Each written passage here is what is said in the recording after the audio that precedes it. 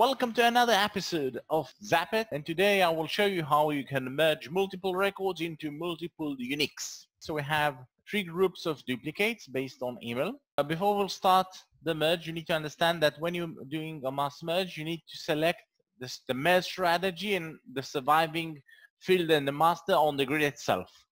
So by default the first row in each group is considered as master You can change the default from the edit layout. See our guides for more information about that. If you need to manually pick a different master, you can do it like this. In order to keep the example simple, I will use uh, the default.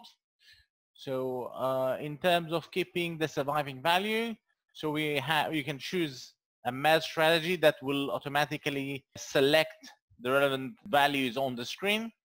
So we got a few options for that. Copy if empty, which will copy the field value in case the master the master value is empty.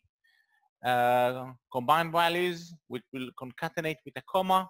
Combine non-master with a destination field will copy the field from the second row from the non-master to uh, a destination field, for example, a description or a mobile phone or whatever you want to choose. I will choose the description in to make it simple.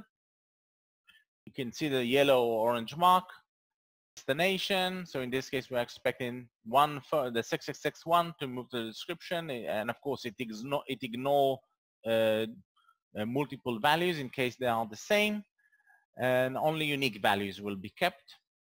Uh, now let's move on to uh, different fields. For example, uh, for a pick list status, you can choose copy if empty. You can also pick a different value if you like.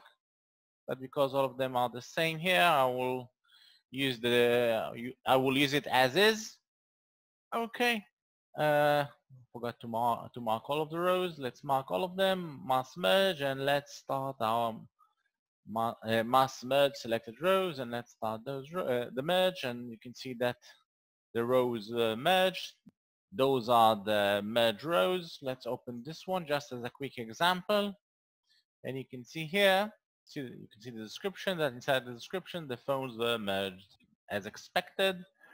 And and uh, afterwards once you're done with the merging just hit refresh and it will dismiss all the unique rows that were merged.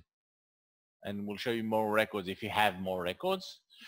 When you're performing mass merges on or want to see your duplicates you can view uh, the the overview tab and see the amount of duplicates here. Just hit the chart and you'll be able to see all the duplicates and you can create more charts or jobs on the jobs tab